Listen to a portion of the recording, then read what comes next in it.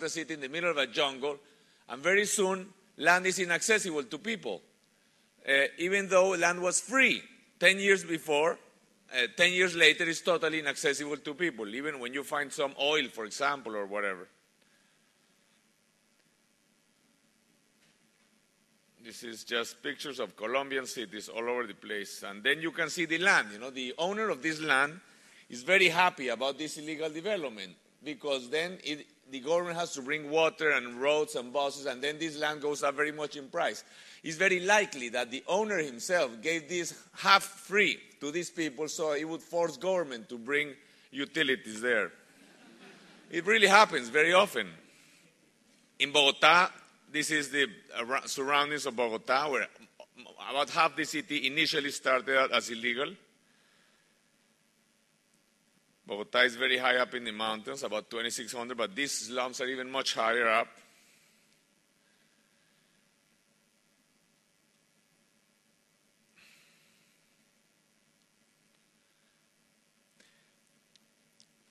Illegality, of course, leaves poor public spaces, inadequate locations, no parks, Adjacent to Bogota, there are tens of thousands of hectares of flat land, but the poor continue to be forced to illegal neighborhoods because the private, the land is private, and if people have higher incomes of lower interest rates or whatever, or higher government subsidies, then whatever we gain from subsidies or from higher income, then land prices go up and you lose whatever you have gained elsewhere. So you can never catch up. It's like the dog, the, the rabbit in the dog races.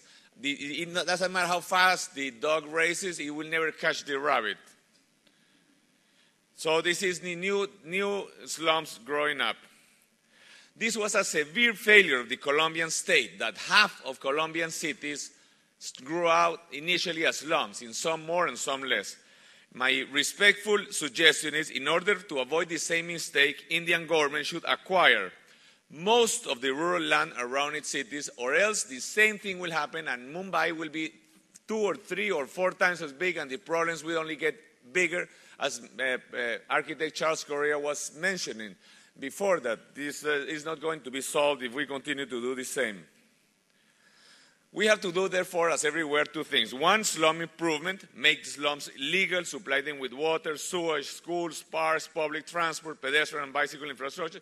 But also we should do something to avoid the city from continue to growing in slums. What is it that we are going to be doing? One thing is to do dissolve what they exist, but then what to do so that they don't grow in the future. We have legalized in Colombia traditionally slums. This is uh, more or less in the process of improvement now. Uh, legal, I mean, as they are so freely, so, so almost legal, so they really have streets and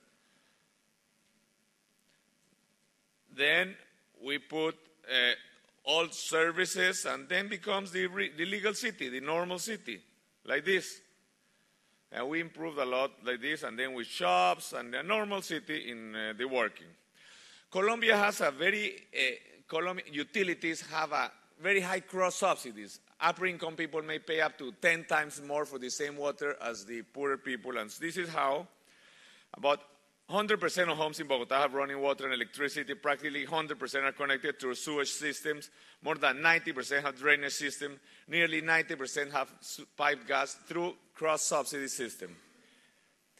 Beyond making low-income neighborhoods legal and providing them utilities, I would like to emphasize on something different. Measures can be taken to truly create inclusion, a sense of belonging, and even of pride, respect for human dignity.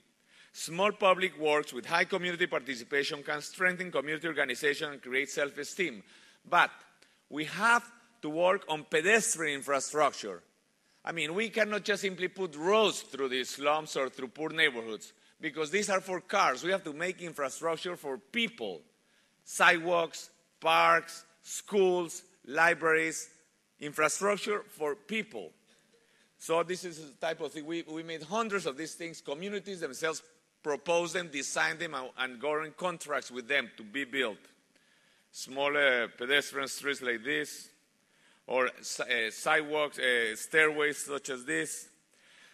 But I'd like to emphasize that the real conflict for space and funds in cities between cars infrastructure, the real conflict is between cars infrastructure and social infrastructure, such as schools, libraries, hospitals, and parks.